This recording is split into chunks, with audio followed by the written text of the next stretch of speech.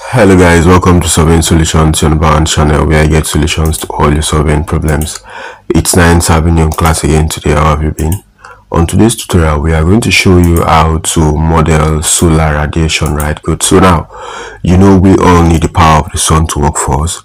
So we are going to show you um, using a digital elevation model how to calculate the amount of solar energy that different um, parts of the terrain enjoys right? Good so it is a crucial process used to estimate the amount of solar energy used by the earth's surface right? Good so it is influenced by different factors like the slope aspect shading and time of the year alongside the position that's the latitude and longitude. So it has different application in you know how to identify where your renewable energy plants will be, you know, for solar panels or solar farms, you know, agricultural planting, urban planning, and um, all of that, right? Good. So we are using um, ArcGIS on today's tutorial, and then we definitely need um, the digital elevation model, which we have loaded, and then you've seen. So we are going to use um, the area solar radiation tool that's in the spatial analyst toolbox, right? Good.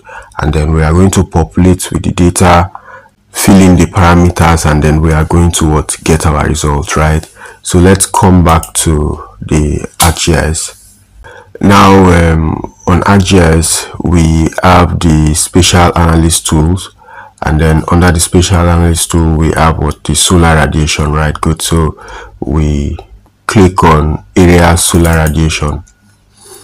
So it derives the incoming solar radiation from a raster surface right? Good. So the input raster would be the digital elevation model we have here so we have the output by default to be this and then the latitude optional. So it's always very important to click on each of the parameters so that you can read what's the help that is provided by ArcGIS right? So um, for the time configuration it's also optional. However you have um, four options to choose. If you need for a particular day for special days rather we have different categories here. The summer solstice the equinox and then the winter solstice right good so if you want it within a day we have 0 to 24 hours.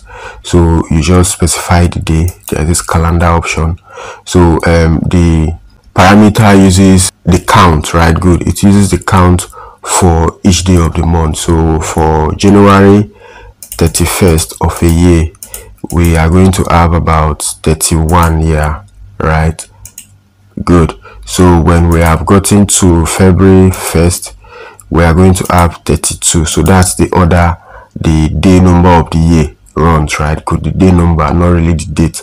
So if you want to pick a different a different date you can actually scroll like this you know using this toggle to move left or right and then you click on any of the day you want. Then when you select ok you have what? The day number so we have start time for zero that's zero zero to what to 24 hours right good.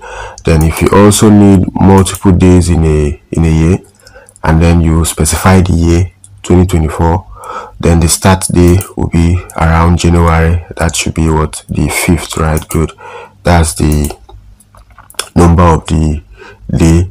And then maybe the end day 160 so that's around june right good. So when you modify it when you change it you are going to see what? Something else here then for the day interval we have 14 if you read what the help you are going to see what um the default value is 14 bi-weekly right? Good that's um twice a week. Then for the hour interval we have 0.5 you know. Then you can still come up to the topographic parameters. Now some of these options are actually some of these parameters are actually optional right? Good. So you can choose to leave them as default as they are or you populate them with um, the information that you need to suit your maybe your result.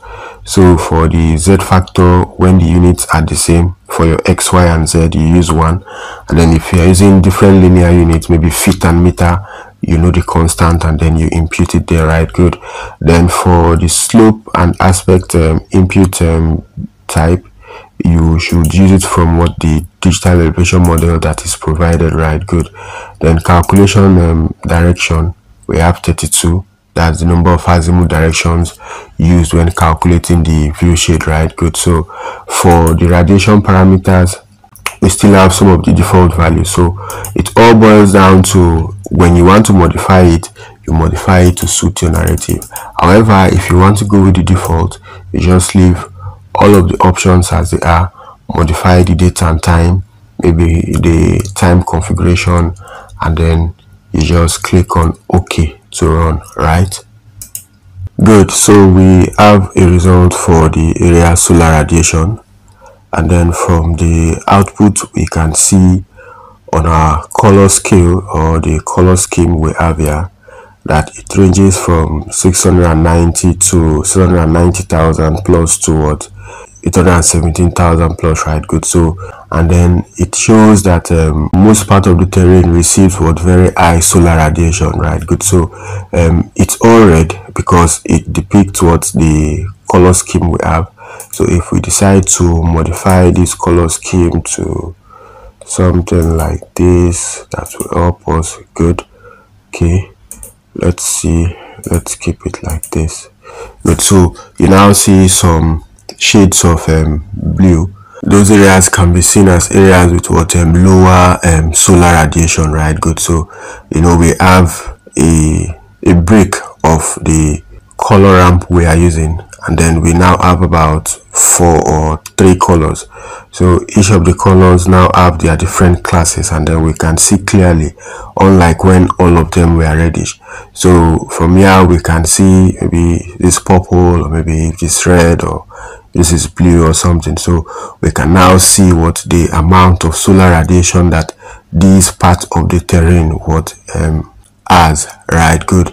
So from there different um, information can be derived just like um, we got from the application that um, for renewable energy planning, agricultural planning, urban planning, ecological studies and rest of that. Now for the unit, let's scroll down. We are done with these parameters. Now let's look at the outcome. That's the high radiation values represents areas receiving high amounts of sunlight typically flat or south-facing slopes in the northern hemisphere. The low radiation values represent areas receiving what less sunlight, such as the north-facing slopes, steep valleys, or maybe regions um, shaded by terrains, right? Good. Now, for the unit, which is um, also very important, the results are typically in watts per hour square meters per day, right? Good. So we have um, WH per meter square per day, right? Good so it is very important that um, we note that the different values we are going to have here for the high or low or depending on the value it's having that um, watts per meter square per day right? Good as a unit.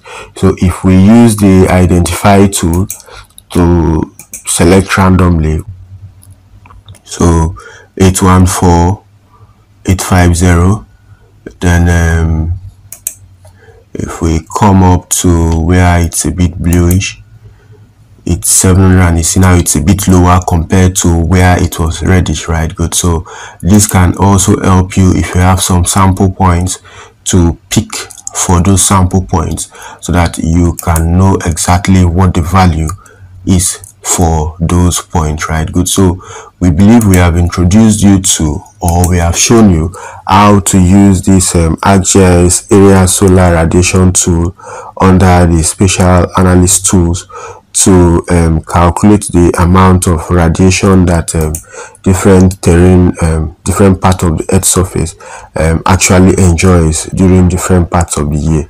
Right, good. So we are going to see you on the next tutorial. Ensure you keep staying safe and have a very good time. Bye.